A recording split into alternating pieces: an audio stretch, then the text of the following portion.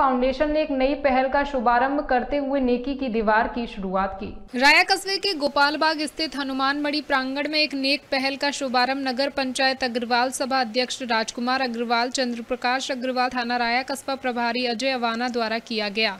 कल्याण foundation के सदस्यों द्वारा लंबे समय से गरीब, असहाय एवं आवश्यक सेवाओं, हेतु सहायतार्थ एंबुलेंस सेवा को सुचारू रखा, जिसके फलस्वरूप कल्याण फाउंडेशन के सदस्यों द्वारा उन लोगों के लिए, जिनके लिए कपड़ों की आवश्यकता होती है और जो ना तो खरीद पाते और ना ही दान स्वरूप ले पाते हैं। उनकी सहायता के लिए कल्याण फाउंडेशन द्वारा निःशुल्क एक नेक मुहिम के साथ नेकी की दीवार का शुभारंभ किया, जिसमें ज़रूरतमंदों को समयानुसार आवश्यक वस्तुओं की ज़रूरत पूरी हो सके।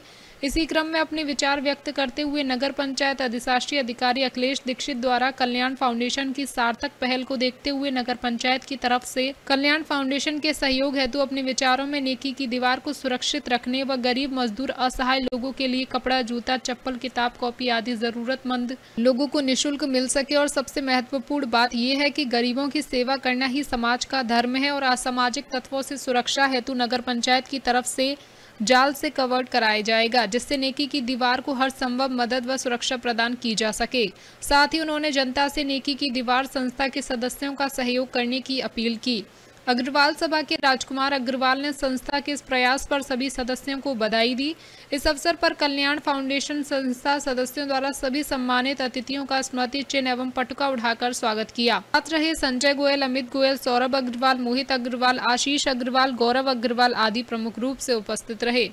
अमित अग्रवाल, मथुरा समाचार ट्वेंटी फोर। कल्याण फाउंडेशन द्वारा एक नई पहल का आयोजन किया है। इसको लेकर क्या कहेंगे कल्याण फाउंडेशन के द्वारा जो आज एक नवीन पहल प्रारंभ की गई है, नेकी की दीवार, ये राया के लिए एक अद्भुत और अद्वितीय पहल है।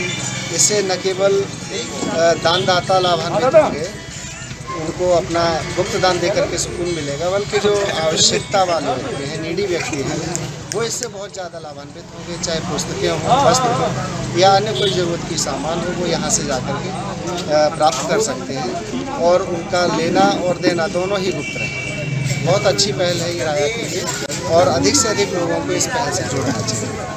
ठीक है। कल्याण फाउंडेशन द्वारा एक नई पहल की गई इसको लेकर क्या कहेंगे? एक पहल की गई है नई इसका सिर्फ़ इसका सिर्फ़ उद्देश्य इतना है कि जिसके पास अनावश्यक से अधिक हो वो यहाँ छोड़ जाए और जिसको ज़रूरत हो वास्तव में वो यहाँ पे बिना किसी के कहे बिना किसी अपनी ज़रूरत के अनुसार ले जाए। काफ़ी समय से आपके द्वारा बहुत अच्छे अच्छे कार्य किए जा रहे हैं एंबुलेंस भी व्यवस्था है और आगे भी किए जाएँगे क्या कहेंगे इसकी सब व्यवस्था?